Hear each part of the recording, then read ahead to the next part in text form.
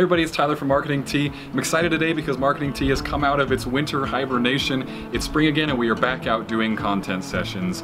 Uh, so we're starting with our friends here at Birth Center Stone Oak here in San Antonio, Texas loving the San Antonio weather um, and just having a great time with these guys. This is a client that really excites me because they've really embraced doing content in this way for the first time. Original content like video and photo that we've been doing at this content session and even some exciting things like podcasts. So we'll show you some of the uh, some of the shoot and we'll keep you uh, on board with us for all of our adventures and upcoming content sessions because Marketing Tea is getting seriously busy. So we're out here on the road, loving it, content sessions all the time, um, and we'll be sharing all of that with you. So stay tuned, follow along, uh, and enjoy.